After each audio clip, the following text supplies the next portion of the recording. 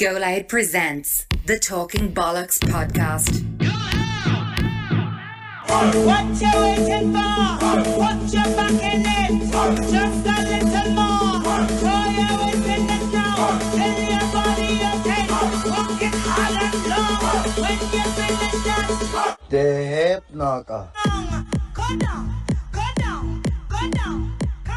Boom, episode 59 the Talking Bollox podcast, brought to you by Go Loud, the home of Irish podcast. It's me, Terry Flower, It's me, CLB. and this week we're joined by Darren Lalor. Darren, How are you, pal? I'm great, buddy. How are you? All good, all Yeah, good, yeah, yeah. fresh as a flower. We've big news for you there, yeah? Calvin, take it away. Absolutely grand. Hand the one over to me. So you've asked, and we have delivered. We are doing a live show Friday, the 4th of March, Liberty Hall. Tickets go on sale on the 7th of February, Monday, the 7th of February. But the pre sale link is available now. Sign up to the pre sale link to increase your chances of getting tickets, but you cannot guarantee that you will get a ticket for, uh, from pre sale. Yeah. My nerves are gone. Right. so it's it's going to be our first live show. Uh, we're looking forward to seeing everybody there. We have a few tricks up our sleeve. We might bring a guest. We might not. We might. Or we might bring a few. And we might see what happens. We'll see. We don't, do you know what? We keep the cards close to our chest. Yeah, we don't say too much, but well, you just have to be there and see what happens. You know what I mean? We're liable to bleeding to do something stupid, so you'll have to come and see us, especially for the first one, no. because wherever mistake we make in the first one, we're not going to do in the second one. Well, I'll hope so. Hopefully, no mistakes. Just Well, sure, look. cruise. Do you get me? My nerves still be gone. My nerves are gone now, Darren, yeah? Yeah, you'll be great. Stop, with you? Well, sure, look. Friends, that's being said, them as. Yeah, yeah, yeah, yeah, yeah. Hopefully, yeah, hopefully. Imagine it was everyone just had launching things at us and all. Get off the stage. It's He's adored. Few Yeah. them gigs, yeah. yeah, he's adored. Right. We'll jump into the single stamp last Yeah. week, yeah? Darren, have you listened to an episode of this? I have listened to part of Arlo Handlin and Jim Sheridan. Yeah. The boys. Hmm. The lads. So we do a thing called zingers, yeah? Yeah. There's like an either or, a would you rather, mm-hmm. stupid things. We're at our wits' end with them, yeah? So, the ones from last week, the results. How, what way do you put your cutlery in the dishwasher? Face down, face up. Oh, jeez, I just throw it in. Yeah. Working, the dishwasher's not working, yeah. yeah. Yeah, Calvin, you know what I'm saying? I just told them in, but a lot of people were messaging us saying you should put them face down because uh, if you open it and someone could fall on it. What? Who the fuck decides? You know what? The dishwasher's open there. I'm going to start doing 100 meter hurdles out in the kitchen. Like, who's running around the kitchen when the dishwasher is open? Like, do you know what I mean? Yeah, but you can just fall, no? Oh, come on. I think people are doing, being too overcautious. Do you know what I mean? Put them face down in case someone falls on them. What? But uh, apparently, there's an episode of EastEnders where someone fell. A, a husband pushed her and she fell on a knife that was in the dishwasher sticking up or something like that. So I, I don't know. Look, it makes sense and all, but like he's a what he's going to be doing? You might as well walk around gaff with a helmet on if you're going to be that careful. You know what I mean? Anyways, the results 53% do them facing up, and Yeah, so- 47% put them in facing half down. and half, yeah. Yeah. I just throw them in, yeah. And people are saying that they sort them out and all, spoons on one, knives and the other. Oh, just everything get in there. Once it's all in there, it's clean, isn't it? Valid point. Right, the second thing. In the chipper, do you say the plural version? So if you were saying garlic and cheese chips, would you say garlic and cheese chip or chips? Or chips. Definitely, yeah. Hmm. Yeah, yeah. I'd say I'd say a garlic and cheese chip Yeah. or a fish and chip. Yes, it's weird because No, I say chips. yeah, because you expect the one chip. The one chip, they just give you the one chip. Yeah, but they're It's not like in England, to they say that. 50 pounds. They say, no, 50 pounds. It Pounds, sounds yeah. better. You feel like you're loaded, yeah. Someone messaged us and said that uh, he was in Australia with his missus, and she said uh, they were ordering off a menu, and he said, "Oh yeah, and can I get a chicken nugget as well?" And he came out and gave her one chicken nugget because what she meant was a portion of chicken nuggets, like a chicken nugget, and they came out and gave her one chicken nugget. He's a legend for that. Well, yeah, well, that's what you're asked for, isn't it? it's like that nugget. one. Um, it, when I- when I'm in work and you're reading like a requirements doc, right? It has to be like people interpret things differently. So there's an old one when we were in uh, when we were getting trained in. An example to use is a mother sent her son to the shop and says, "Get eggs." Oh wait, no, sorry. Get milk, and if there's eggs, get six. So get a bottle of milk, and if there's eggs, get six. And he comes back with six bottles of milk and goes, "They had eggs."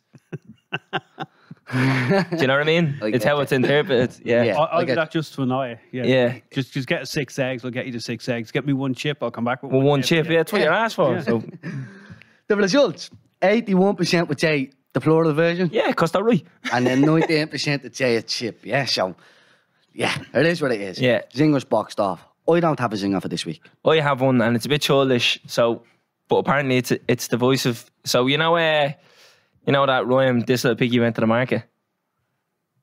Yeah. You know that one. Mm-hmm. And this little piggy said at home. What did the next piggy have? This little piggy had roast beef. I don't know. I say bread and butter. And this little yeah. piggy had none. Yeah. Is it? Yeah. So apparently this is the thing. Uh, And some, is that the answer you were looking for him to say? yeah, yeah. Some You're people say roast beef. Oh, very good. Yeah. some people say roast beef, but some people say bread and butter. So do you say bread and butter or do you say roast beef? Look at what fifty what nine episodes in.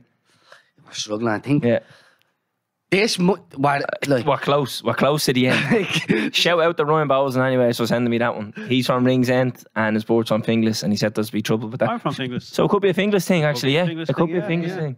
but uh, yeah, I think what, in the last couple of Yokes with Zingers, of That podcasts bad. with See what bad. yeah. Have yeah. you got one, Darren? No. No, the funny one that somebody said, a weird one, is that if you're in the shower, do you wash your hair first or do you wash your body first? Oh, that's actually, that's actually not a bad I wash one, my hair first. Yeah. Yeah, I, I uh, wash my trying hair to think, first. trying to, something stepping in. Yeah, I think I do. Yeah, I wash my hair I first. wash my yeah. hair first. Yeah, hair's yeah. the first thing to get wet, no? When you think about it, yeah. Yeah. But the question you have to think about, isn't it? Yeah, Yeah. it is. Yeah, that's not bad. Yeah. It's That's not something you have bad. to think about. Yeah. You came in here prepared, didn't you? Yeah. I yeah, had to, yeah. love that. Love And I don't have much hair, look. You're doing well. what? You're doing well. I know. I know, fellas. Move her over this side Yeah. of it. Yeah. Fellas half your age with quarter of the hair. Uh, 25, 50 this year, man. Love it. Right. Something we forgot to mention. So when the tickets go on sale, they're going to be twenty euro each, Including Ah. and booking fee. and then there'll be a booking fee with it. Right. So much, there'll be a hall door and booking fee. and booking fee. Yeah, so just that's it. Keep that in mind. Yeah, suggestions. Uh, Twenty euro is actually a great price as well. yeah. Just saying, you know what I mean? So people have sorry. It's a round figure. Yeah, I think it's reasonable. a score. Yeah, it's a All round figure, done. yeah. Bleeding twenty blue for a That's score. what I was these gonna days. say, yeah. Yeah, do you know what I mean? Smokes are about bleeding twenty one euro or something. Yeah, Yep. long like a cocoa pop. Yeah. uh, some people uh, sent us in a couple of questions. They want to know who books the guests and how do we get the guests. Both of us, both of us. Oh, I mean, both of us and go loud. Yeah, So like, there's a mixed bag. yeah. So we have to say on the guests, but that's on, that doesn't mean that we say get us this person and they come in. Uh, the lads do suggest people for us. Like it's a team effort here. You know what I mean? Everyone has to pull that way. Yeah. So we would say, can you get us X, Y, or Z?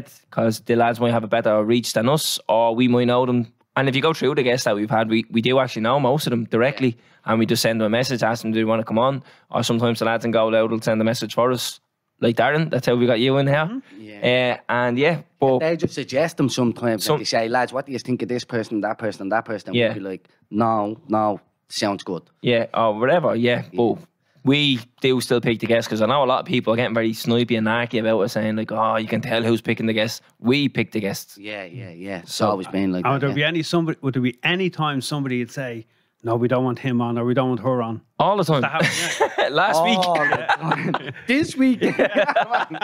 Don't bring your man on.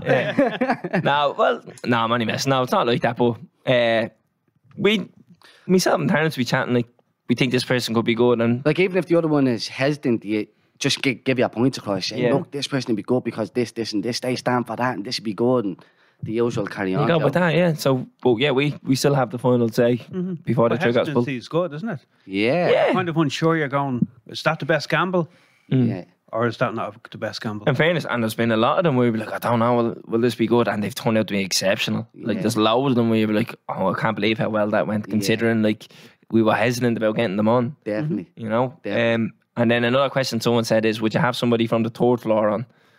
I always said no, because we're not allowed down on the third floor. They shouldn't be allowed up here. Yeah, but we're not allowed down because of our antics. Yeah, but like, it doesn't You matter. don't realise how loud we are. It's actually a joke. Like, Yeah. soon as we come in, like everyone's like, ah, for fuck's sake. But what's the third floor? So Uh, we're on the fifth floor yeah. now. The third floor is on News news talk talk and Oh, the professionals and all, that. yeah. So the only third floor I knew was when my auntie lived in Ballymun. Yeah, Yeah. so you don't want to go there We're either. from English, you only have two floors, upstairs, downstairs. We don't have a third floor. Yeah. Yeah, yeah. No, the third floor in this gaff. Ah, stop. Yeah, big business getting done down there, you know what I mean? I It's think they have a bouncer on the stairs, you know what I mean? Sorry, So they lads, won't not let you tonight. down? No. No, we're not allowed. But uh, do you know, I, might, I actually agree with them. Yeah, Eddie Roy. Yeah, the bleeding neck of us. We do be screaming, shouting. I'm going. throwing I'm going things. down that third floor after this. You're looking. I'm not going down now because I heard a rumour going around. Hey, mugs are down there. Have you ever talked about this? Because We, we can talk about it. No names. No names mentioned, right? Is that your mugs is in your face or your mugs is in your book? And mugs. Yeah, but- keep away. Yeah, yeah, don't let them in. Yeah, uh, we had mugs, personalised mugs. Me and Terence have yeah, our names and the logo were on them, and we brought them over, and that was grand. Everything was great for a few weeks, and then just one day they went missing, and we kind of let it slide, didn't we? And we didn't really No, didn't know. we didn't. Did we not know? Caused murder. I mean, we caused murder. No. Carver tried to make us look real nice. Though. Do you know we were what I like, mean? Where's your mugs? We were refusing to do a podcast and all. We didn't get them. I didn't get them back. No, but we still. We did. We did get them back. today. Yeah. We we did get them back. What did you read for a that? big fucking herd in the table. Yeah, we we did. Uh, we got them back eventually, and then they went missing again. But I don't know how did we how did we not get good more than the second time then? I think we were over it. But 'Cause What- We should be the ones Yeah. stroking. I think it's an insult. I think that's somebody acting a bollocks for us because they're personalised mug. So it's not as if you're using it by accident. They know who owns that mug. How's your fucking name, on That's it? what I'm saying. How's that logo and our name? So they know. Is it not secretly an invite to come to the third floor? That's So it could be a setup. Yeah, I a think Trojan horse Yeah, kind of thing. Come thing. down to the third floor. Yeah, your mugs handcuffed. Get them out of here. They were acting a bollocks on the third floor. Pat Kenny lumping the head off the two of us. So you have to stage one Pat Kenny show to get Mm. your mugs back. We're gonna. I'll just walk into the middle of Newstalk. Sorry, I'm looking for a couple of mugs. Or I found a few. Yeah, and walk out. Calvin with the dad jokes. Do you know what I mean? Yeah, but this is just a little message. Yeah, bring our mugs back. Or else. And that's it. Or else you'll be down looking for them. That's it. Yeah. That, that's that.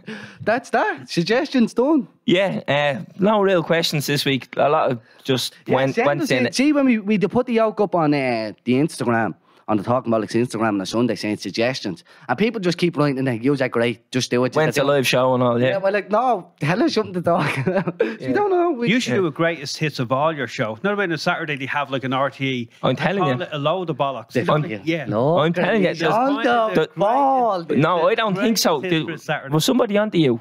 Because there's a leak in it, in this building. Every time I come up with something, on the next episode somebody talks about it. Happened in the McGuckin episode It happened a few times. with the film club, remember? I think someone tapped my phone. Mm-hmm. Yeah, Telling you. because Calvin literally only said this to me last week that we should do something like It's that. a great. Yeah, why not? They were run through of all the episodes, Do a play through by all play. the episodes, let everybody see who you had on. You mm. know, except for your mugs. Yeah. Yeah. your poor mugs. We're gonna get them back. I'm telling you. I'm gonna Yeah. get, it's like taken.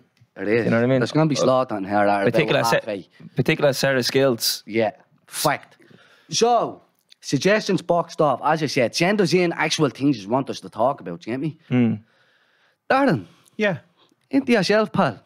Before, so what we do we're all, I guess we just go back to the start. Mm-hmm. Tell us what life was like growing up, blah, blah, blah, where you're from and all. But before we do that, tell us what you actually do first. Yeah. What I actually do for. Because Yeah. people might be looking at this and saying, "Who's your man?"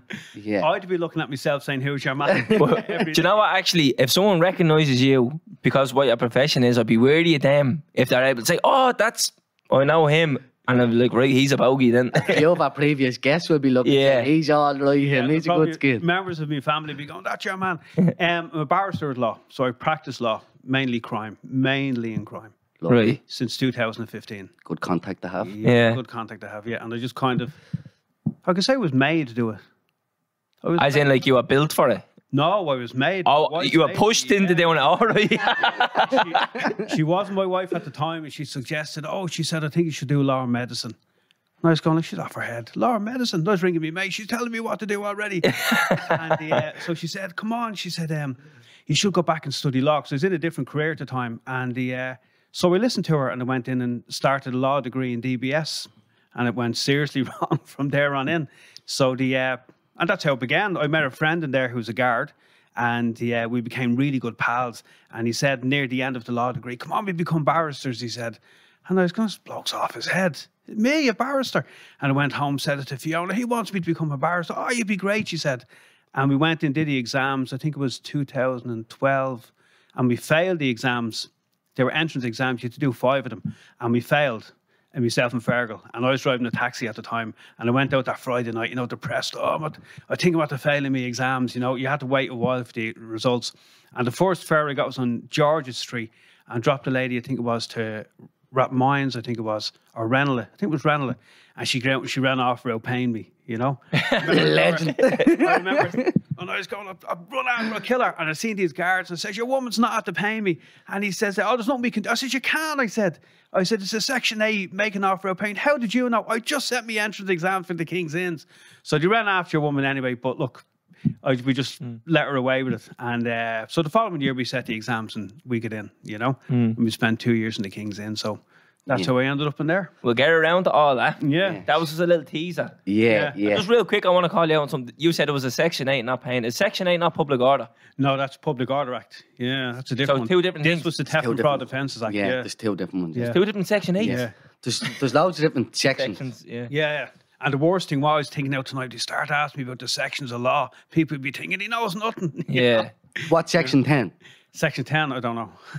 Right, I'd have to look it up. right, what is that? Section 10 of what, though? I don't know, I just- Section- I Section just- 10 of what? I- I have to look it up. I Section wanted 8 of the him on the Public. Order Act, you have to leave the area, blah, blah, blah. But was that not if you were suspected of doing a crime? If you're suspected of doing something funny, yeah. Yeah. Suspected of doing a crime. And how would you know that? How do I know that? Yeah. Because I looked her up because I know from standing in a park, a public park, a guard come in and he says, you all have to leave under Section 8 of the Public Order Act. Mm-hmm. And someone said, for what? And he said, loitering. And he said, well, how can you be loitering? We're in a public park. Mm-hmm. Entitled to be here. And the guard done the U-turn and walked right back out. Very What a good. point. so I looked There her you up because I was, yeah, but just be standing around and the guard comes over, Section 8, you just have to move. Been What? hit with it a thousand times. But what, like, Yeah. so yeah, that's. I looked her up and I was like, right, you can't just come over and tell people to leave, and then it's, uh, it's, unless you're suspected of uh, committing a crime. And or did you look upbeat- her up on the internet? Uh, yeah, Yeah, interesting. The internet, you can find anything you want. Anything in the world. Anything you want. Incredible. Absolutely incredible. Yeah. but I made sure like it wasn't on bleeding like Wikipedia or something. It was in like the, Yeah. the proper, Yeah. the proper. You find like, dodgy things on Wikipedia. Advice or something. Yeah, was, dodgy but- Section 8 on Wikipedia, yeah. yeah, no, but you know, it's nice to know that because mm. then you don't want guys just coming over for the sake of it and saying a random law and you thinking, oh, right, I, ha- I haven't got the right to be standing here. Mm. Mm-hmm. And it's like, unless you're suspected of doing a crime or about to commit a crime mm-hmm. or, you know, like that, it's basically being suspicious. Mm-hmm. So it's always nice to know the law because mm-hmm. then you know you can't get yourself caught out. Mm-hmm.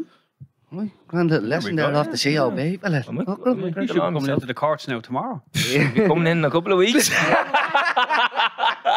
Is that what you asked me to Section 10, is it? No, Well, that's yeah, why we yeah. got That's you why we got the you on. We're looking to get Yeah. you doing Nixon. no comment. Oh, stop I'm so wetting, boys. Right, Darren, into yourself. What's your name? Where'd you come from? And what was life like growing up? What's my name? Okay, Darren Lalor's my name, and it's L A L O R. And everybody call me Dazzler or Darren and, you know, D or all other names, but never really, or Lalor. What's the story, Lalor, you know? so they never really called me Darren Lalor. Um, so I'm from Finglas. Uh, I moved to Finglas, I think, when I was two. My mum and dad had a flat in the North Circular Road, and we moved to Finglas when I was two, Ballygall Parade. And then when I was 12, then we moved down to Griffith Close. And so I remained in Griffith Close until about geez, I think it was 2009, and I moved in with Fiona then. And then just life just took over, you know, as simple as that. What was life like growing up? Uh, it was interesting because up in Ballygall Parade, like the the people I grew up in Ballygall Parade were the same people I grew up in Griffith Close. But just then we met other people as well. So we, we've kind of been around the same people all the time, you know? And it was interesting. Like I was always into dogs and music and, you know, contraption speakers and radios and wondering how things always worked. And uh, I always put my mind into that, but big into football.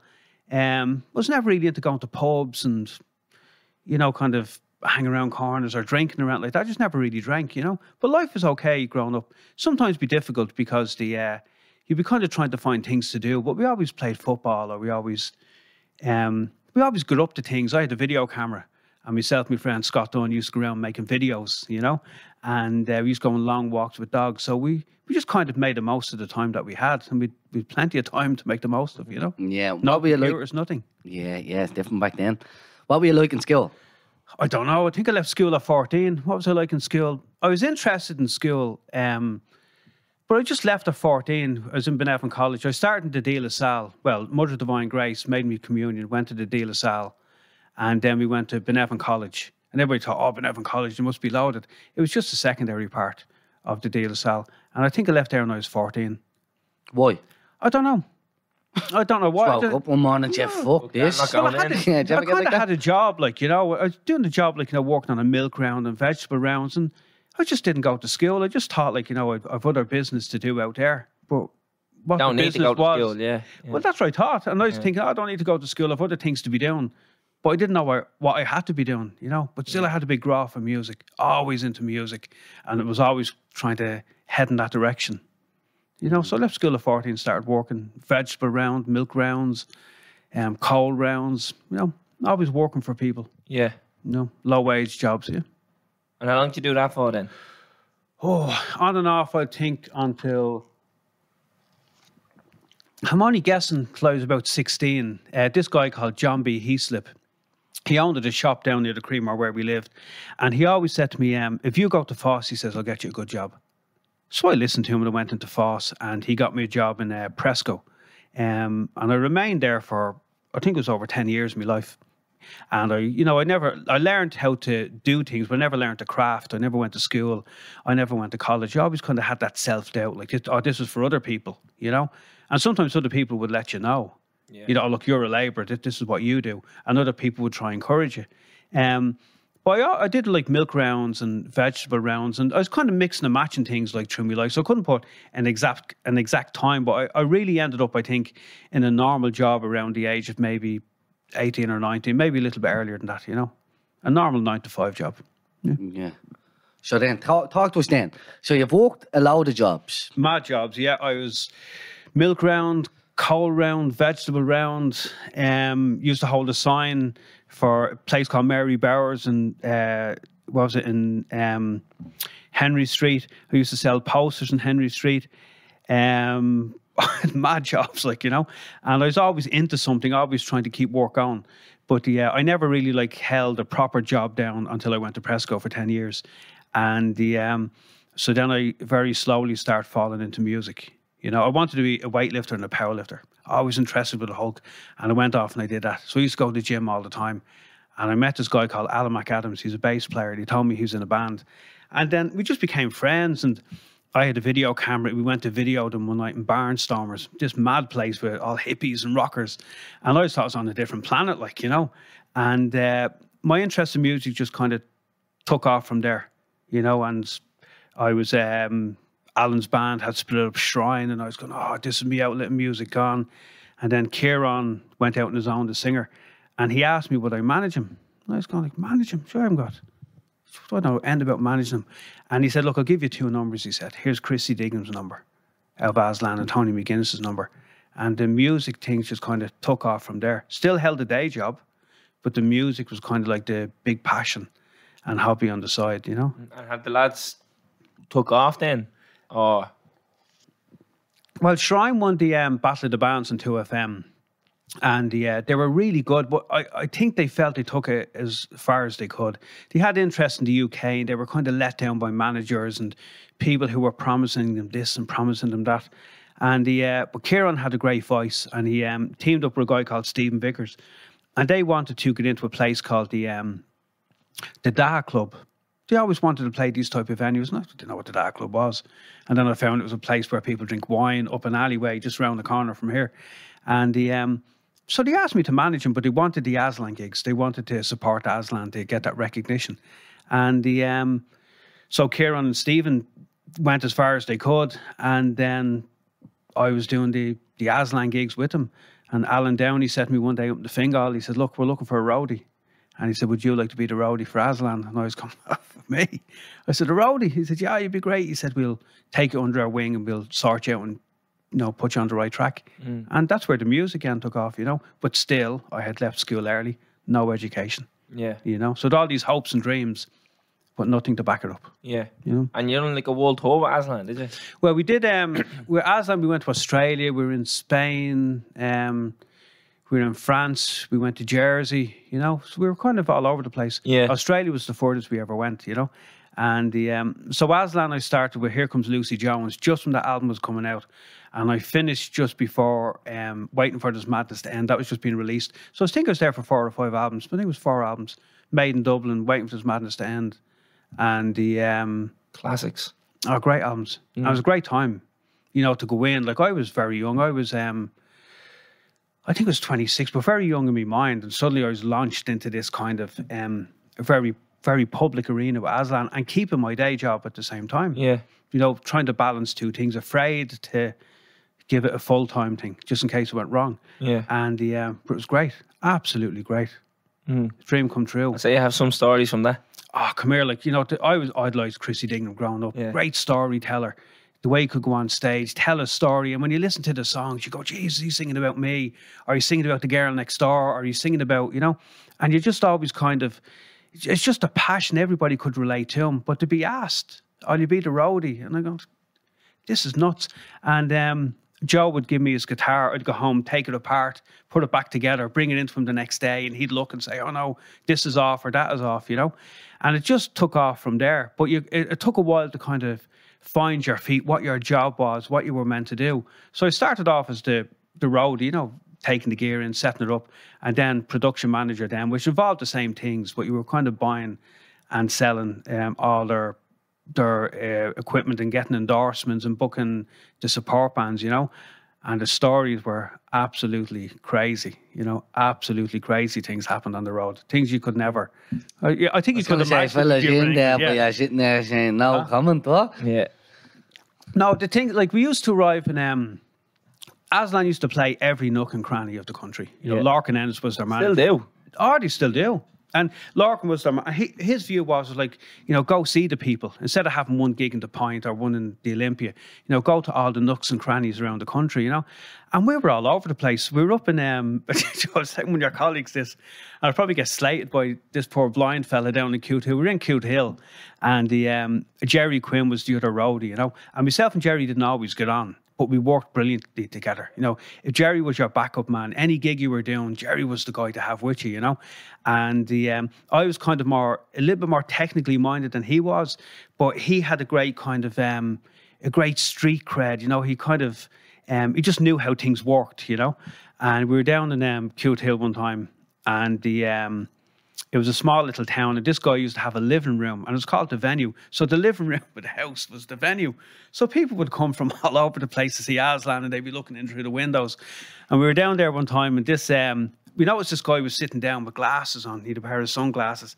And um, I thought it was one of the lads from Westlife, just seeing your man sitting down. And Jerry said, uh, he goes, look at your man over there with the glasses, you know. So Jerry's packing up the gear and he says, um, he goes, you must be expecting the sun, are you? and your man goes, what? You must be expecting the sun. And he goes, uh, no, no. He says, I'm blind, like, you know. And I was going, oh, Jesus, you know. So Jerry had to go up and say to the manager, Jesus, look, he says, um, I'm after insulting your man over there. He's blind. I didn't know. I thought he was one of the lads out of Westlife, you know. So the, Larkin goes, "You better give him some, give him some merchandise." So Jerry goes back and gives your man a CD and a book, you know. so he hands your man the book and he says, uh, "Oh look, I'll get one of my mates to read it to me after." Like you know. So there are funny stories. You know, I mean, obviously not funny for you know. You be very careful what you say, but things like that, you know, very innocent things that can go wrong. But that was just one of the many. Um, one of the, a lot of them will come to my mind now. Yeah, I'll say, probably this won't be able to say. yeah, Yeah, yeah. we had Christy on. We went up and uh, we actually done an episode in his gaff. He's great, isn't he? Yeah, he invited us in. So Yeah. give a shout out to Christy. Yeah. Christy is a legend. That's what we were saying. It'd be great to get Christy in now to the studio.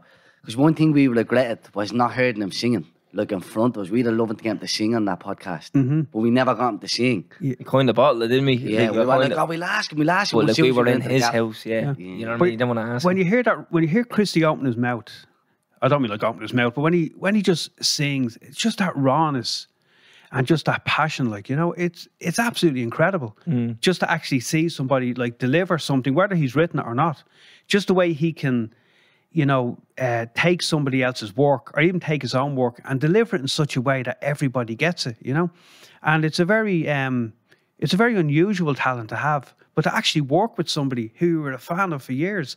Um, I remember one time I was in uh, working my day job, and this girl rings me, Sarah McQuill, and she was crying. She said, "Did you hear Christy's dead?" I said, "Christy's? No, Jesus, no." I said, "Jesus, he better not be." He said, "He owes me money." I said, "He's dead." And she says, "He's dead." So you say he owes me money. yeah, he owes me money. you know. And I remember like Larkin Ennis, the manager, ringing me. He goes, uh, "Are you getting phone calls that Christy is dead?" I said, "Geez, everybody's ringing me." He said, "Geez, I've MCD on to me and all, like wondering what's going on, you know." So he said, "Look, if you hear anything, he said, give me a shout." So I keep on ringing him, Larkin. I said, "There's no answer to the phone." So eventually got through to Christy. And he goes, "Look, are you hearing I'm dead?" I said, "Yeah." Everybody. He said, "I'm not dead." I said, "Well, obviously you're not, you know." So we didn't know what was going on because Gerry Ryan was on that morning. He goes, "Matter hearing sad news."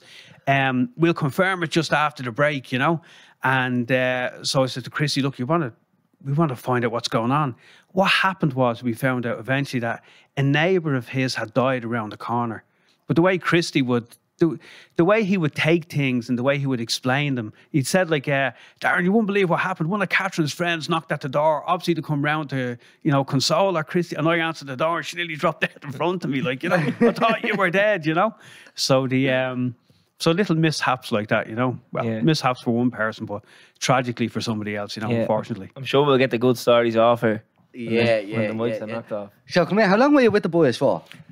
Gee, I was trying to think of that on the way in. I know I started with um, "Here Comes Lucy Jones" was just being finished at the time. The lads were just kind of. Uh, What year would that have been then? I'm just trying Early to think 90s, is it? of. Yeah, I'd say the early '90s because, like 1988, they got back together. Or 1988 to split. 94 they got back, and Goodbye Charlie Moonhead was out, and uh, so the Here Comes Lucy Jones. I'd say around the 90s, yeah, when that came out. And that was just in the demo stages.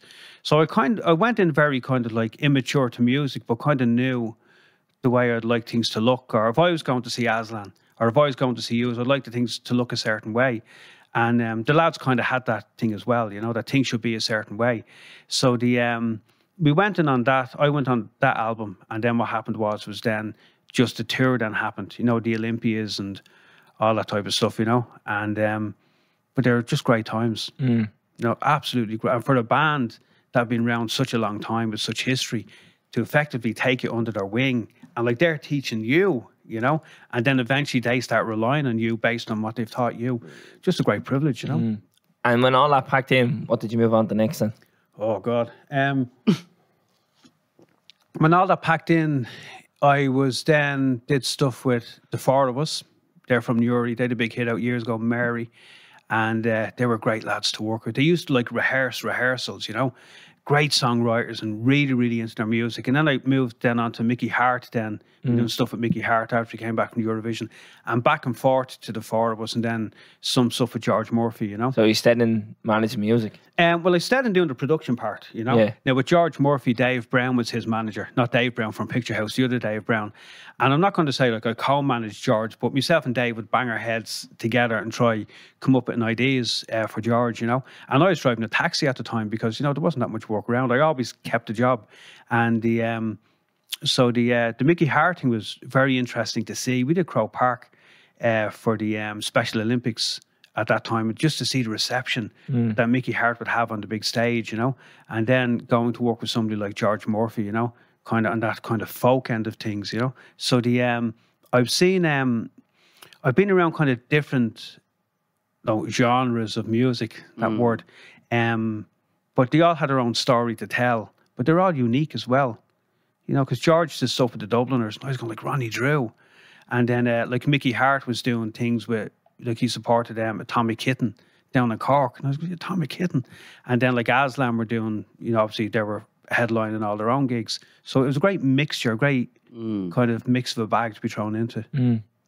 Um, so you pack all the music stuff up, that, or that just kind of fizzled out itself? No, it just kind of fizzled out. Like the Aslan thing ended like on just a phone call. You know, Yeah. they have these things of ended. I mean, Christy got a phone call when they finished for him.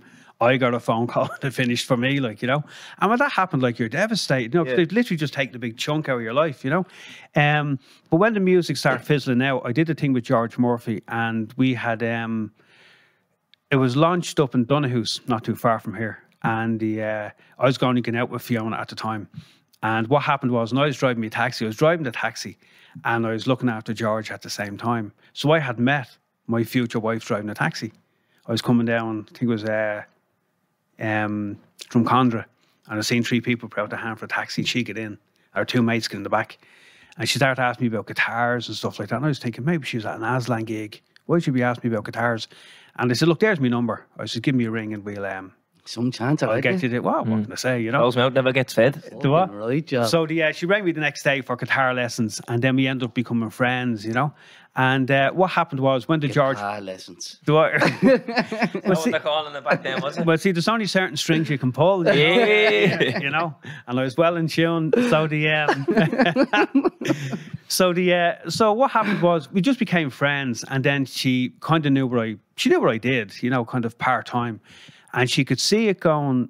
I'm not going to say going wrong, but she could see it going nowhere, you know, because you'd be working on this project and then you'd be on to the next one. But there's no real money in it, especially if you're holding down another job. So she just recommended the night Michael Jackson died. She said to me, um, on Stephen's Green, would you not do law and medicine? And I was like, what? I said, law and medicine. And she goes, yeah, no, I did weights for years. And I was thinking, maybe she wants you to be a physio. And, but law, it's just no intercertive, no leaving certive, nothing. And what does she do? She works at St James's. She's a nurse. She's assistant director of nursing. So she's kind of like the old matrons. Remember the old matrons used to go around keeping the nurses in line. But Fiona's not like a white glover. Like if you went in tonight with a cardiac arrest, she'd work on you. You know, she'd be in charge. She'd be visiting like over fifty wards. Yeah. Um, so she just kind of noticed this thing, as I said before to other people that I didn't know I had, you know, like an ability to do something different. So the um, the night Michael Jackson died, we set up, we were watching telly, and the, uh, we were watching all the scenes from where he lived. And I said, okay, I'll go into Dublin Business School and see. We did a bit of research on it, and the law part just kind of happened from there. And you're just doing like law with like no real end goal. You just like I'll do this and see what happens, or did That's you want exactly it. Yeah. That, uh, uh, it was kind of like I'll do this and see what happens, or see what um, see where I can kind of get out, but see where it's going to lead. You know, I was kind of lost at that time. Yeah. You know, I didn't know what to be doing or where to be turning. And How uh, old are you at this stage? Oh, geez. Well, um, it was 2008, so it's what's I'm 50 this year, so I was in my mid 30s. You know, I just didn't know what to be doing, and the um, so we decided to go in, like, do the law degree. Went into DBS, and uh, John O'Keefe and Barry Halton were the the guys went in. I think John O'Keefe was the dean at the time, and Barry Halton was a barrister. I didn't know. him. We went in for the open day.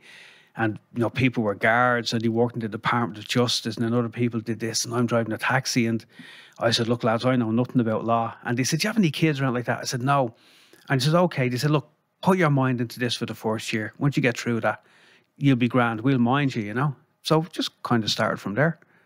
And the law degree took three years. Drove me taxi um, during the day or sometimes at night time. We used to mix and match it, and um, I'd get all my notes read them into my phone and play them in the Bluetooth going around the, the city. That's the only way I could learn.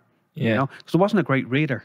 I could read, but it would have to really interest me to read things. Yeah. And the, um, and that's how it started. Yeah. It was as simple as that, you know. And were you doing uh, doing jobs around at the courts, trying to pick up a few solicitors and barristers down there? yeah. The um, I used to pull in at the um, the Globe at night time in in uh, I think it was George's Street, and I'd be recording the stuff in, and then we had to I had to move some of the the work to days then, and the uh, used to pull up outside James's Hospital and then the CCJ. And then people used to get into the car, like, you know. And this guy got in one day, Luigi Ray, and he goes, You seen it? There's this law book sitting there. And he goes, uh, You in trouble, son? Like, I said, I'm doing this law degree and I, you know, I'm stuck on evidence, wherever it was. And he said, Oh, you, you need to look here, you need to look there, you know. And um, so I kept on going back to the court. So I told Barry Hall, Halton, oh, I had this guy in the car today, Luigi Ray. Oh, Luigi Ray. He said, Tell him I was asking for him. He's practicing like, like 40 years. And I didn't know Luigi Ray was. And the, um, so I just kept on going to the courts. And Luigi said to me a year later, he said, Look, if you want to be a barrister and if you come down, you know, I'll take you on. He says that the um, you can be me devil. Didn't know where the devil was. What's the devil? You know? And it's like an apprenticeship that you kind of do in your first hmm. year. And it just kind of happened from there. So every day I'd pull up, see who'd be getting into the car, and then um, try rob tips voice. off them. Huh? Yeah, Yeah. yeah. voice off. Yeah, No, try it's rob right. tips off them. It's, Yeah. that's, it's a clever way of going about it, you know. Like you'll have all this information in a book, but you can get real life examples from people who are in the in the know how in that field. Then why not? Oh, it'd be look, it's incredible. This gentleman got in one time. Uh, this lady got in one time, and she said to me, "Oh, if you're looking for this um, this book on something," she says, or we look for a, a particular area of law. She says that this barrister, she says, wrote a great article on that. So she told me where to get it, and I had an A4 pad, and she wrote his name down, Tony McGillicuddy, you know. And she says, look for his article online. She says you'll find it. I think it will help you. So I said, grand. Dropped the lady down to the four courts, went back to the CCJ. and four or five people, wherever it was, came back, came into the car then, and uh, I threw all their stuff in the boot, and on the front seat was the A4 piece of paper.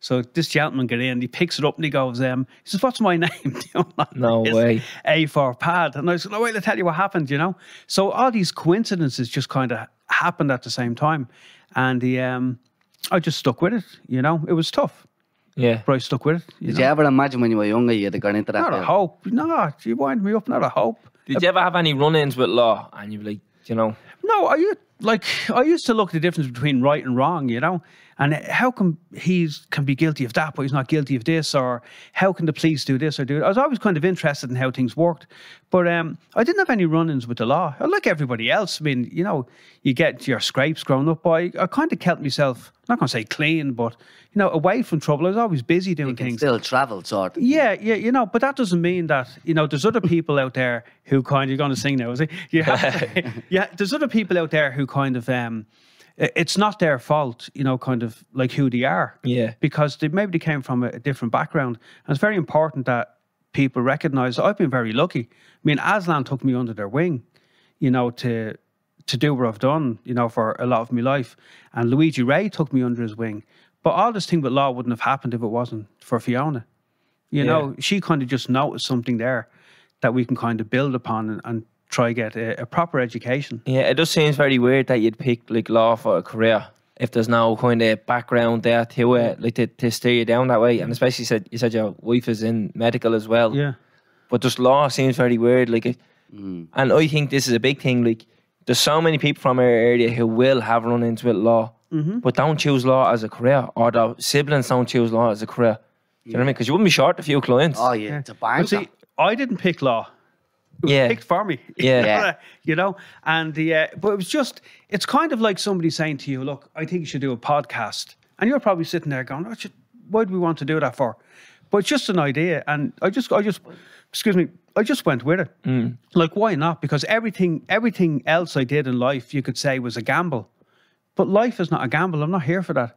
I'm here to do something, and sometimes you don't recognize yourself what you can do or what you can't do. I mean, when I started with Aslan to to work with Aslan up to get to the Point Depot or to do the the Made in Dublin, the Five Nights in Vicar Street, and to be in charge of that production, like the the the live part. But now, obviously, Larry Bass was the guy who did the Made in Dublin part, um, but to be part of the uh, the live production and to to run it and to advise on it, all that came about only because other people seen in me that maybe he can become a little bit better at what we think he can do. You know, so it's just when other people see it and they kind of, it's like pimp my ride. They kind of take you, they fix you up, and you become their product, you know?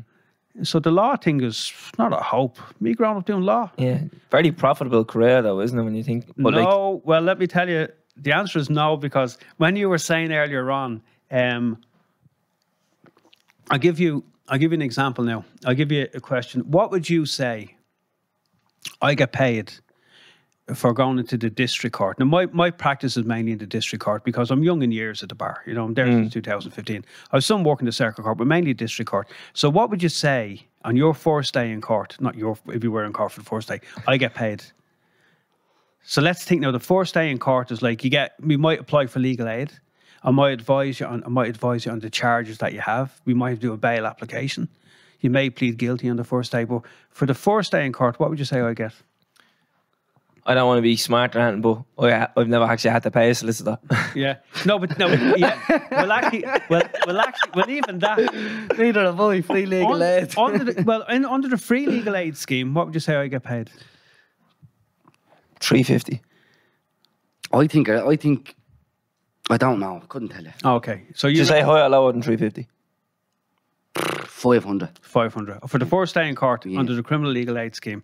Your tickets are twenty euro plus the booking fee for your show that's coming up. Yeah. isn't that right? Okay, and I get my haircut for twenty euro around the corner from where I live. Sixteen euro, throw the girl a four euro tip. I get Tips paid. Love. I get paid under the criminal legal aid scheme twenty five euro and twenty cent to represent somebody in court on the first day. If you plead guilty, and we do the plea mitigation, you know, telling the court why you did it, and you you know, I would get um, fifty euro and forty cent. If it goes to hearing, we get sixty seven euro under the criminal legal aid scheme. So people think that So you don't want the boys to get a strike out in the first day then? no, it- see, it doesn't. It, it doesn't work like that because when somebody comes in, like they're literally, I'm not going to say placing their life in your hands, but something has gone wrong in their life, you know, and they're saying, look, you know, I did it or I didn't do it or whatever the situation is. And when we people think that when you become a barrister, there's like a, um, you know, there's gold at the end of the rainbow. There's not.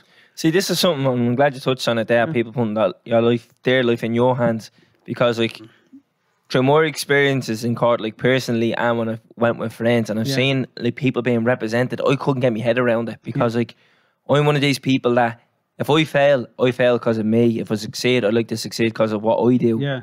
Um, when you see someone standing up in court and they have someone else speaking for them, and it's literally like they're whispering in their ear, and the solicitor or the barrister is speaking. I'm like, you could have actually just spoke those words.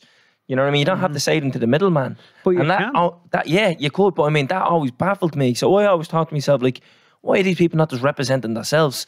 And not to be insulting Mm. to you or your profession, but I just thought these people are they're very timid when they're speaking Yeah. to judges. They're like, oh, my client here on the day in question did this. When you're like, have a bit more conviction in your voice. You know what I mean? Stand up, put your chest out, speak, sound convincing. Mhm. And then you see like it be put back or whatever, and you're like, to me, it just never sat right with me. Mhm. You know, and. uh it's just the whole the whole experience with law and the courts. I think it needs to be cleared up, especially for, for people in our area. And Jim, when Jim Sheridan was on, he, he said it. He's like, "You're not very coerced in law growing up. No one actually tells you anything Yeah. until you're in the thick of it, and you have to learn quick then." Mm-hmm. And I just think that's something that needs to be broadcast a lot more. You know, there's resources available to you. You know what I mean? Like, there's knowledge out there. Go and apply yourself with with things like law. Like simple as that. Like I looked up what Section Eight meant mm-hmm. in the Public Order Act, so it can't be abused towards you. And I think there's a perception with uh, court that when you go in, it's you against the police and the judge. When that's not the case, mm-hmm. it's you and the police convincing the judge who was right and who was wrong and what happened. Mm-hmm. And I think that's a perception that people need to change. You stand a lesser chance though if you go in without a barrister, I think, for because not everybody can employ themselves. No, So but there's young fellas who are going to go in and they're going to wear the tracksuits and they're going to talk the way talk and be like, no, hold on for a minute, like, and, Hmm. and it just doesn't look well for you. So it's easier to get somebody in who can actually. but I, what I Because meant a lot of young fellas get frustrated Yeah. well and fumble and they're like, no, he fucking, you know what I mean? Yeah. I think it's easier. And, and even if I'm involved in situations like you know, even if you know, like if we had like my mum was sick through COVID and we had one or two difficulties with her care, you know, and yeah, and when you go in to to you know to tell the hospital or the nursing home or the doctor what has happened, you you're kind of wrapped up. You're kind of a little bit too much wrapped up in it, you know. So it's important, I think, to get anybody maybe just to, just to kind of maybe step back and let's look at the whole situation and see where it is. Um, for me, going into court is that like, see, not everybody has like when you're looking up Section Eight, maybe you can pass that bit of wisdom onto somebody else. When I have like Aslan and they train me to become something, they're passing on their wisdom to me. When Fiona, you know, seeing something in me, she's passing it on to me. Or when Luigi Ray is passing information on to me, it, it's kind of passing things down the line all the time, so everybody can benefit because, like, all the tomorrows are there for everybody and not just for the people who claim today for themselves. You know, the, the when you go down and become a barrister, like there's there's people in there who are geniuses. You know, they're very well educated and they're great people to work around. But the fact is, is that when you go into, if Fiona wasn't working, I would say I'd be gone from the bar a long time ago, because you can't survive in twenty five twenty. You know, so I need her support again to help me keep my practice going. So effectively, she's like subsidized my practice, if I can put it that way. Um, but when you go into court and when somebody is pleading guilty or when they're accused of a crime, I have a job to do. The same way when you go into hospital, a surgeon has a job to do. Um, I mean, I'm sure that Fiona and her colleagues are going to give somebody bad news tonight, God forbid, and you may have to give a client bad news. So you're just representing them to the best of their ability. And if they plead guilty and say, "Look, I'm wrong," it, it's important to give the court um, a kind of a view of what has happened. You know how it came about, what the background to the situation is, because every story has a start, middle, and end. You know, and when you go to court, you're hearing the end part of it. This is what he did, or this is what she did. You know, so the um, when you're standing up in court, people do get frustrated. I get nervous going into court. If you don't get nervous, what's the point in doing it? Exactly, yeah. You don't be going and kind of, you know, you know, cocky, like if I can put it that way. And the um, and judges are fair people. They listen to what you have to say, you know, and they will apply the law as as they see best, you know. And you have to, ex- of course, judges get it wrong. I get it wrong. I'm sure doctors get it wrong. And the um, but yeah, some people do represent themselves, and some I- people would rely on other Yeah. people to help them. I'm not saying I, I encourage people to No, disregard, right. but I mean, like, there's a perception that it's you against the judge Mm. and the guard when that's not the case. The judge is there to take in all the information and make a decision. Yeah. You're there to plead your case. The think guard it is there. sounds more difficult. Um, like if you just think about, oh, I'm up in court, you automatically think, "Father, Mm. I need help. Yeah. yeah, help, But yeah, what I meant as well is it's not you against the two of them. Mm-hmm. It's just you against the one. It's you against the person who has you in court. yeah, And the two of you are pleading with the judge. yeah, You know, yeah, like that. yeah. Like the, I had one run in in uh, court in my life, and it was struck out. Mm-hmm. And it was struck out because the judge looked at the situation and says, like, this is ridiculous. And in front of the guard, now I, um, I personally thought it was very embarrassing on the guard's behalf for even having this up there. And then the judge obviously thought that as well and struck her out. And And- you represent yourself. Yeah, I just stood up and the judge, yeah, no problem, struck out, good luck. And that was it. And the guard sat there with his head down. And mm. But when I they was get do they do coppers get paid extra? for going to court, I think they do. court? Well, well, the guard would be on. Well, well, the guard would be on a salary. I mean, because they're guards, you know. So I would say that um, when they're going to court during their work day, that's part of their work. And I'd say that if they're going to court on days that they don't work, uh, maybe they get time in lieu, you know. I can tell you to get more than twenty five euro twenty cents. So if you're standing outside the courtroom, yeah, mm-hmm. the names will be on the wall, Yeah. yeah. with the surname after be that about the order, yeah. of them. And if you look on like certain months, they'll you, most of the time it'll be one copper has about ten or fifteen Yeah, people. the day I was in court, On- on one the same had like 13 people up. Mm-hmm. All there could be stuff. there could be any reason behind that. There could be there could be any reason, you know. So you wouldn't know. I mean, I get a call today. Oh, will you go into court tomorrow and do A, B, and C? You know, and you're given the papers. You meet the client. You find out what the situation is. But it, it's kind of like.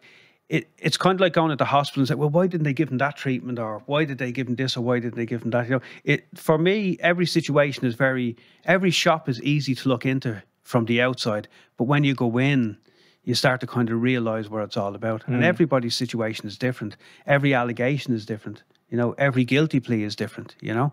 And so it's easy to read the newspapers and say, oh, look at this and look at that, you know, unless you're really, Yeah. unless you're really in the case, unless you really know about it. So it's very hard to comment on something that you're not part of yeah, uh, unless you're part of it. And if you are part of it, you can't really comment on it because it's between you and the client Yeah. and the court, you know? But I think there's, I think this is something, it's like a mystery, like the law and courts and stuff like that to people until you're in the thick of it. You know, like that, and then people learn about as they're going. And I think that's the wrong way of going about it because you're learning on the job, but like, it's a delicate thing, you know what I mean? Because it, it literally could be your livelihood is in, is in even on like, the line there. if you were diagnosed, God forbid, like if I was diagnosed with cancer tomorrow, I'd be off reading up about the cancer I have and what not to eat and what medication and should I go running or should I do this, you know? So I think that when something knocks on your door, it's only at that time you'll actually sit back and Yeah, it's a good and, way of looking and at it. look Yeah. at what it is. Yeah. Yeah. And that's the only way I could explain it. Like for me to go into the courts and stand and represent somebody, um, like I'm 50 this year. I went back to school very, very late. And for me, it's just like this is incredible to actually stand and represent other people. For me to walk onto stage and tune a guitar for Joey Jewell or for Billy McGuinness or Mickey Harte or for Blue. We did a couple of things with Blue or to walk on the same stage as Madness. You know, these things are incredible to do. Um, but it's only when you're when you look at a, a show, like you're going to have a lo- live show coming up, mm. and you'll actually see from your live show the amount of work that goes into that. Mm. So behind the scenes will always be behind the scenes, unless you look behind the scenes. Mm. I think. yeah. So, uh, you eventually got, you went back. You said you failed Yeah. your exams. You eventually you passed them. I eventually passed the King's Inn exams. Yeah, Yeah. And horrendous. so what, what what way is it work then? So you pass that, you get into the you get into King's Inn Yep. College, is it? So, excuse me, I did the uh, law degree in DBS. yeah. Dublin Business School. That was three years. Yeah. And then you have to do your entrance exam to get into the King's Inns. That's to become a barrister. Yeah. It? So when you get into the King's, so you get your law degree in Dublin Business School, and when you're going into the King's Inns, you do your barrister law degree. So those exams are over five days, Monday to Friday, Yeah.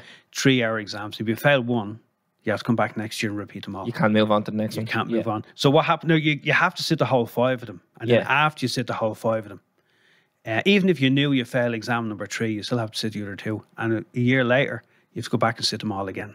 Oh no way! So even if you say you pass one to four and Yeah. you failed five, you can't just say five. No, you have to to go sit- back. Oh, you have to go oh, back next that, year. yeah. So we had failed those kind of first five exams, and the uh, so what city colleges were very good to me. They prepared me for the King's Inn entrance exams. Uh, Philip Bork said, "Look, we have this program in place. They help people, you know, get into the law society to become a solicitor, and we have one to help people get into the King's Inns." To become a barrister, we get all the information you've learned over the past three years, and we compile it in such a way that you're able to answer questions. You know, you've all this knowledge, you don't know how to apply it. So Philip Bork put this thing together, and uh, myself and Fergal McSherry went in, and we did the exams. Yeah. and we failed. I think I failed one. I failed one exam, and I think it was a few points short on another one. And Fer- Fergal had failed a few. So the uh, the year later, then we went back to city colleges again. They prepared us again, and we got in the second time round. So we spent two years in the King's Inns, and in 2000, excuse me, 2015, we were called to the Bar of Ireland. You know, mad, absolutely. what does that mean? called to the bar? That means you're a, a You're- barrister. you're- yeah, you're kind of sworn in as a barrister. So Yeah. the graduation is in the King's Inns, and then you go to the Chief Justice. You know, I'm not saying you go to the Chief Justice, but you get down to the Supreme Court, and they swear you in. So upstairs, you know, you have your gown on for the first time, and you have your three piece suit, like you know, and you're going, great, you have a three piece suit on, and um, I'm real small, like so they got all the communion suits. So I like the communion suit, they'll fit me, like you know, and the um, I used to be a guy down there called Peter, and he'd put the the wig on your head and make sure it's straight and all. And you'd face around to the mirror and she can see herself. You're like, oh. And um, then you get down, you kind of you take her out before the court. You know, they, they Yeah. it's like being sworn in. Yeah. put it that way. So- you're called to the bar. Give or take, it could take you five years to from when you. It could take it five years. Yeah. So three years down the law degree and then two years. Yeah, so three years, then a year in between because we failed, and then two years. So it took six years altogether. Yeah, but like if someone say, I don't know, tomorrow, let's say Terence decided to go into law. Yeah. In five years' time, he could be a practicing You practicing can get barrister. in four years because you do your law degree in three, and then the King's Inns you can do a one year. You can do a full time barrister law degree. I did a part time All right. because I had to work and we had two kids. I need to be able to pay for it. Yeah. And um, so we get in. So it took what three, one. So six years it took. Yeah. Six years of hell. Madness that. It's like it's never too late to actually go and Yeah. like you and you're living proof. Oh, c- come here. Like to me, if you would have said to someone like, "Oh, he's a barrister," I'd say, "Right, he left school and he went straight into college and he and he got stuck in the that- books." Like, Everybody thinks that, you know, like people, like when you people ask me a question, like I don't know everything. I can't. I Yeah. don't think there is a barrister who knows everything, unless they're, you know, oh, all up. Well, here's the charge. If they're not sure, they'll go off and they'll read up on it or research the law. But you're you're dealing in different things every day, you know. And for me, like f- for me to go back to school and to get, you know, my law degree, my barrister law degree, like for me that was just incredible because, you know, I've not went to cert, I've nothing, no hmm. leaving cert, and I left school very very early. I left school really, really early. And my uncle Brendan used to be on my case all the time. Oh, I should go back to school, he said, and, you know, do this and do that. And it got to the stage that he was wrecking me head. And then my mum and dad, they were kind of on my case a little bit, but, you know, let him find his way and we see what happens. Um, I used to walk with my dad on the tours I used to get paid in CIE in Phibsborough. And we used to walk through the King's Inns. And I'd be holding his hand. And I'd be saying, oh, what are they doing here? That That's where you're trying to become a judge. He used to say, oh, very good. And little did I know, you know, whatever, So many 20 or years 30 life will years come later, full circle. Yeah. I'll be in there. But if I can do it, anybody can do it. But mm. what happens is that people need the support to get in and do something. Whether it's you with your podcast, whether it's Christy Raslan, whether it's Mickey Harte, whether it's Shane MacGowan, everybody needs that support, you know? I definitely think there's barriers in the way for a lot of people, especially from our areas. Because as you said earlier on, you're sort of like lucky enough to get the breaks. I was you've very, very lucky. life. And there's definitely barriers there. Eh, Like, as I said, when you go into the courts now, um, there's people who may be there who may be on pensions, let's say, they're in different jobs. So they're able to kind of sustain, let's say, those losses, right? Yeah. Or you may have somebody who um, who may have a lot of money behind them, or maybe their wife or their, their parents or you know have a few bobs. So they're not really, I'm not saying they're not really worried about money, but they kind of have that backdrop. But to get to that level, you still have to go to college first, Yeah. you know? And I think for me that there are definitely obstacles placed in front of me. And I think the obstacles really came from me, you know? Mm. So what we do in the courts is that, or what I do, they have a look into law program and they will accept students in from any area. They don't care where you come from. It's like a lottery, you know? And kids will apply and they'll spend a week in the courts.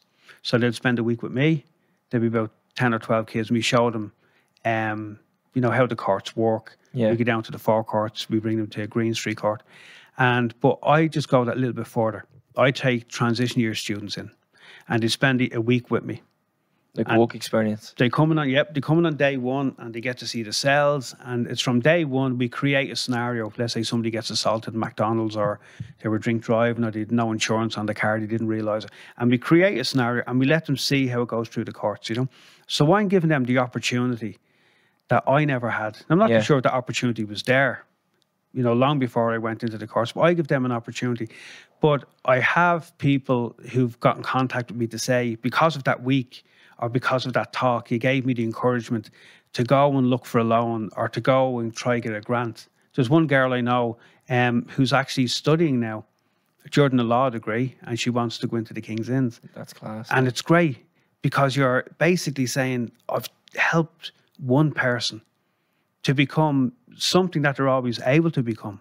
they never But they thought just they never, could be. Yeah. They just never realised it, Yeah. you know? And that's the thing. So you were saying obstacles. I'd love more people in our area to get involved in law, but on the other side of the law, you know what I mean? 'Cause they're always on the wrong side. And as I said, Yeah. you always come well versed in the law. When you're on the wrong side of it, you need to find out. Mm-hmm. I'd love to go up to court and hear a lot more solicitors and barristers that sound like us, you know, and be like, that's class because it's not. It's not a classist thing.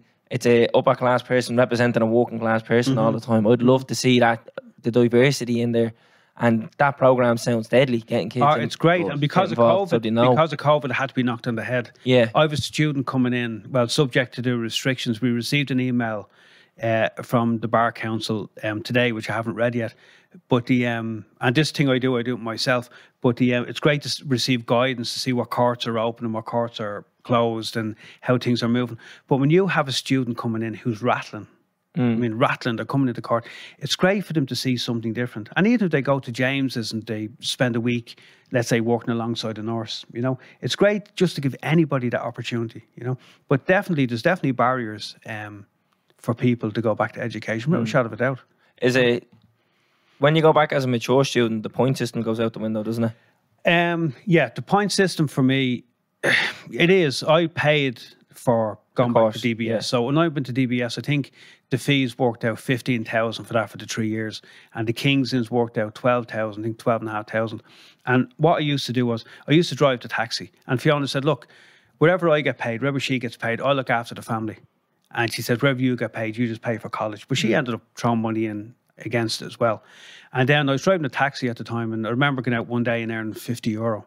I said, Fiona, I can't drive the taxi anymore for 50 euro.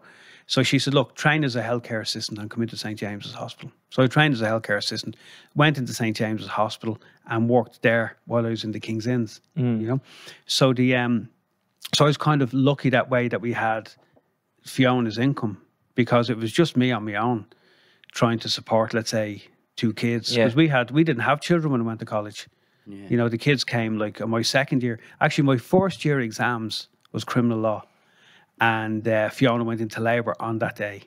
The, exactly one year later, on the same day, my exam was company law, and Fiona went into labour that day. You know, and absolute disaster. And in year three, they were saying, "All right, is there anybody pregnant now?" You know? but the um, so I was very lucky that way, and I was extremely, extremely lucky to have that. But the um, it's the people I worry about is somebody who doesn't have that behind them, who doesn't have the financial backing behind them. And there are some grants there. Yeah. I think there should be more grants. Yeah. Because everybody deserves a chance to be what they are. Every mm. single person, you know. And if something stops them, they're going to have to try to get over that hurdle. And it's my job and your job and everybody else's job to help them. Mm. I think if you're out of education for more than two years and you're over the age of 23 or 24, you qualify as a mature student. And that's when the point system goes out the window. Yeah, the point system went out the window for me. I just we just paid, and I said Yeah. paid away like bride people, but we just paid Oh, yeah. and, and, did and did did uh, Hmm. you know did it the, the two degrees, but the um, but anybody can change their direction Yeah. if they're just if they're just pointed in the right direction because a very simple mistake that you make in life can bring about a lifetime of guilt. And maybe not a lifetime of guilt in the courts where you're guilty of a criminal offense, but you know, things happen, trauma happens in people's lives. Mm. And what happens is that that lifetime of guilt just kind of, I shouldn't have done that, or I should have done this, you know? And these simple mistakes hang on to you forever. So I'm just happy that people literally just got me at the right time and said, "This is what we think you should do." Mm. You know, I've been extremely lucky to have the life I'm after having.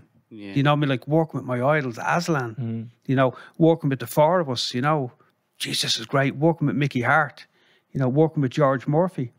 You know, like uh, designing George's album cover, uh, doing some of the photographs. I mean, these are, and still holding down a day job. So I was very lucky and very privileged. Um, but for somebody to come along and say to you, look, I, I think maybe you should do something different now. It's it's a, it's just great for someone just to catch you and just pick you up and not change where you are, just face you Go Yeah. into yeah. in a different location. And you're living proof of that. I'd love somebody who's listening to this who maybe is a bit lost and doesn't know. Like, it's not too late. You know what I mean? You can apply yourself. And I know you said there's not many, but there is some resources out there, like Yeah. grants and access mm-hmm. programs and stuff like that. So mm-hmm. if people are thinking about it, to go back to education, especially becoming a barrister. I remember at that time when I did have that run in in court, I was in sixth year at school. And I remember thinking, like, this is deadly. I'd love to get involved in this. Mm-hmm. But the points for law at the time, I was like, there's not a chance I'm getting it. Like, you know what I mean? Yeah, yeah, yeah. And I always said, look, I'd love to go down that route because I don't know, you may not have noticed this, but I love arguing with people. and uh, I was like, do you know what? I'd, I'd like to get in there because mm-hmm. I'd like to, because I'm like yourself, I'd like, I like the process of things and mm-hmm. understanding the process and then being able to apply that and be like, well, this is what happened and this is what was broken, this is what wasn't broken, etc. Yeah. So, like, imagine somebody listening to this now and be like, you know what? I, I'm 25. I don't know what I'm going to be doing with my life. Even just one person. I put up a thing on LinkedIn. I was looking at it today. It was 11 months ago. Just a kind of brief, maybe eight or nine liner of how I. I think when the when the pandemic came, people were panicking over the leaving cert, and I just put something up just to say, oh, "Look, this is what I did," and it got. Looking at today, I think it got 301,000 views on LinkedIn, and I was getting messages off people who had exams on Monday, and they were sending me messages on Sunday saying, "I read your article. The Kingslands did a, a brief article, and I was doing exams tomorrow. I didn't want to go in to do them." But kind of your art, your thing is kind of at the egging me on to go in mm. and do it, and like if that's just one person, Brilliant. you know, if you can just change the whole thing just for one person, it's uh, it's incredible. But I think government they just need to they just need to wake up. You know, let's change this all elitist society. Let's Yeah. create opportunities for every single person. I'm practicing at the bar. I'm in court in the morning. I mean, I may not be a, a practicing barrister come September. You know, because I won't be able to survive on fees of 25 euro 20 cent, you know, and something has to be done. I mean, if if student nurses were paid 25 euro and 20 cent, you know, for representing somebody or looking after somebody, there'd, there'd be war, you know. So people have to to wake up and say that if you're doing an important job, regardless what it is, that you have to be paid and you have to be paid properly. So the way it is with me and some of my colleagues, I mean, in March, um, in March, uh, there's going to be a situation now where barristers at my level, uh, you know, may have to walk out of the courts, you know, may have to walk on the steps of the courts and send a message to government to say, you know, like 25 euro 20 cent is, No, it is. is not, it, it's an insult. Yeah. So, but I say to people, go back to college if you can, or go back to school. Study anything you want. If you're studying law, go off and be a barrister. Become a solicitor. Keep away from crime. I mean, the criminal end of uh, practicing until the legal aid system is fixed and fixed properly. You know, and maybe go in house working somewhere or keep at civil law. But don't let anything stop you from becoming something that you've always could have been. You know, and it's up for everybody, I think, to pass on that message. Mm-hmm. I think it's up to everybody. Yeah. So, Darren, you're sworn into the bar, yeah? Yeah. What's your first day in court like? first day in court was on. I was dropped outside on a Monday, and my wife dropped me outside, and she gave me a fiver for my lunch. With a fiver, I had me gown in a bag, and I was going, "Oh Jesus," you know, like it's like lunch money. And I remember waiting for Luigi Ray to arrive because he was my master for the year. It's kind of like an apprenticeship you do, and yeah, to make sure that you don't bankrupt the state or anything or make a show of yourself. And my mate rings me, and he goes, "Come on," he says, "down to the." Uh, to the the early house, he says we get down to. Cladder, He was working in. James. I said, I've only a fiver. Come on, leave that till tomorrow. I said, I have to go in. I have to go in. So I went in on my first day, which was on Monday. And Luigi, we did my first day, you know, getting the feel of the place. And he said to me um, Monday night, he says, Your first day making an application in court will be tomorrow, will be Tuesday. And I was going, Oh, Jesus. So he told me what I had to do. And obviously, I went in the next day and I was kind of you don't know how loud you have to speak or how loud. I just remember like making the application. I could see like the kind of the, the breeze passing everybody's hair, probably shouting like you know. But it was um very nerve wracking, you know. But yeah, I did it, and it was a challenge, and the um, but very nerve wracking because you were trying to. You knew Luigi had you well briefed what you had to ask, why you were asking it, any difficulties that could happen with the application, or anything that the court may ask you. But he was um, he had your back all the time. He'd be sitting in the front row, and you'd be kind of three or four rows back. So he'd be there in case anything went wrong. But nerve wracking. Yeah. After sitting there, like saying, "What am I doing?" The same when I was doing the Aslan things. You'd be going to walk on stage in the Pints doing production manager, and you'd be saying, "Jesus, what am I doing here?" Like you know, and it's the same. You know? Uh, are you allowed to go into any detail about what happened on that day, like your client? No, I can't. No, it wasn't my client; it was his one. Yeah.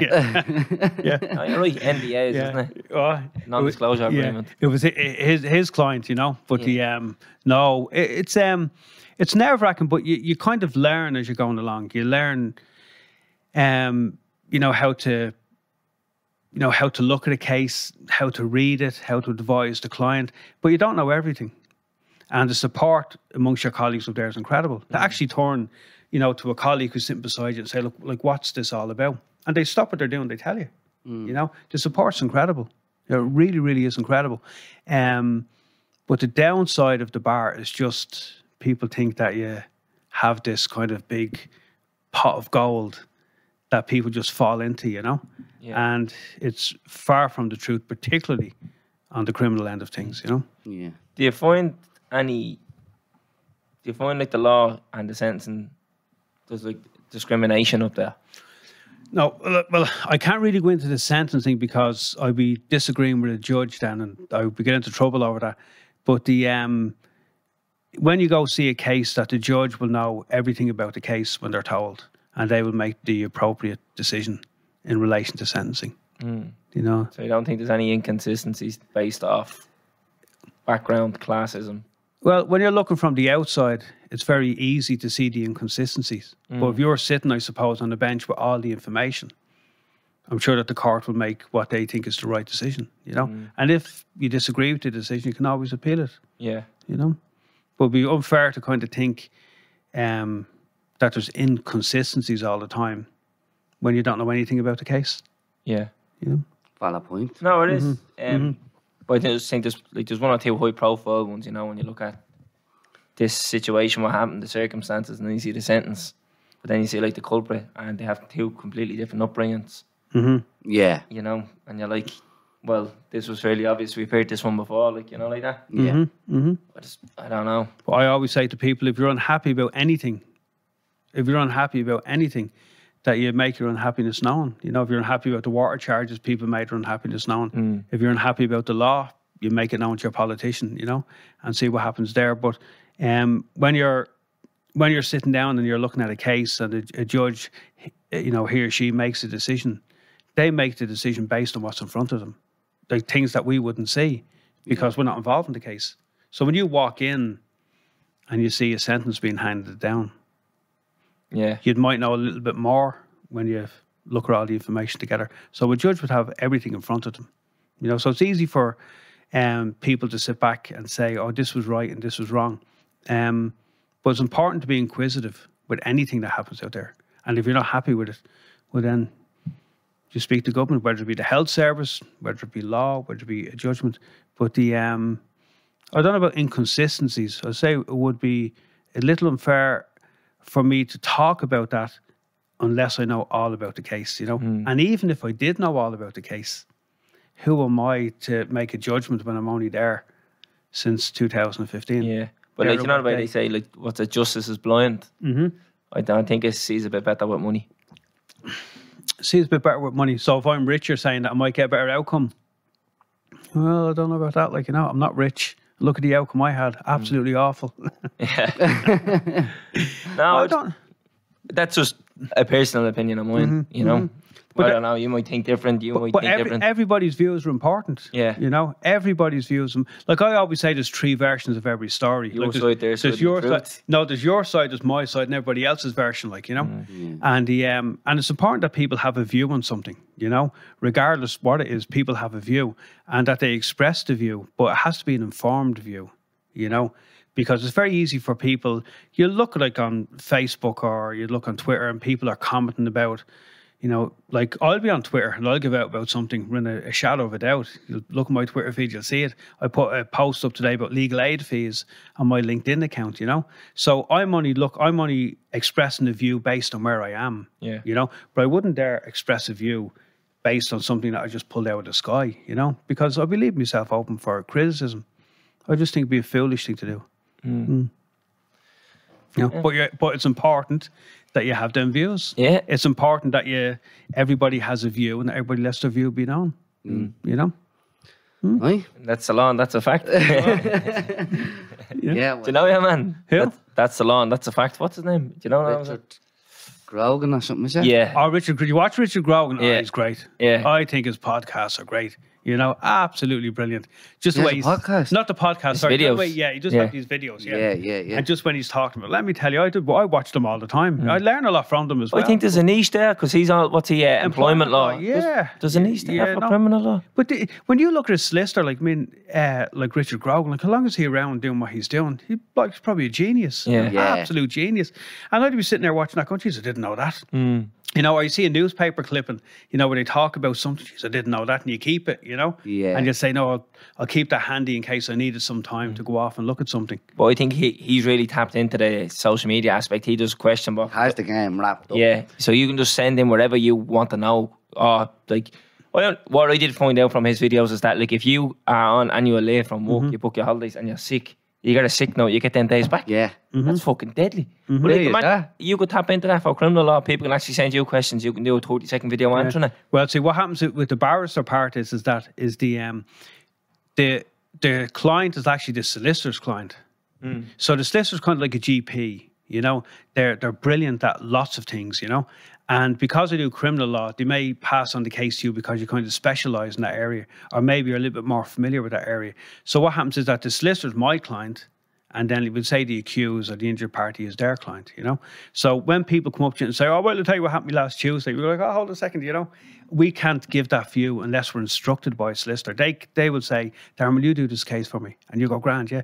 And uh, then you can advise in it then, but you can't be just uh, like kind of have a questions and answers podcast, you know, because we get into trouble over that because we're not briefed in the case. We don't have the the full story behind us where the solicitor would, you know. So we kind of specialize in certain areas. Yeah. You know, so when I say I specialize in criminal law, there's people who be more experienced than me. So if I get something landed on my desk and I'm not too sure, I'll be asking them. Yeah. But I can only uh, um, deal with something that a solicitor instructs me on. Nobody can walk in out the street and say, "Oh, look, you do this thing for me." They can ask for it. They can go into a solicitor "Look, I want him to do it," but you can only be instructed. Does that make sense? Yeah, Yeah. no, I Yeah. get it. I get it. Yeah. But like Richard Grogan can go on, he can have his uh, His Q&A. his videos. Yeah, they're great. Brilliant. They're Absolutely brilliant. Very informative, yeah. brilliant. Yeah. Yeah. Learned a lot of things off those. Yeah. You know, and I think he's making the best of social media. He's making it very. inf- Like you went up and looked after Section Eight. He's making the information for people readily available. You know, and uh, I'm sure he'll probably get a lot of work out of it as well. Mm. You know, but he's um, it's something he's been doing a long time. Employment law. Mm. You know, Yeah. and he's on every show. Pat Kenny. Mm. You know, he's on Claire Byrne. Yeah. You know, has it wrapped up. Yeah, no, he does, yeah. Mm-hmm. So, uh, I want to be the next Richard Grogan. right, wrapping this up, but before we go, don't forget, Talking Bollox Live, Liberty Hall, Friday, March 4th. Tickets on sale Monday, 7th of February. GoLoudNow.com forward slash events. Sign up for the pre sale. Doesn't guarantee you a ticket, but does increase your chances. 20 euro excluding booking fee. Get onto it. Take us out, Johnny. Boom. Subscribe to this podcast for free on the Go Loud app. What you waiting for? Put your back in it. Just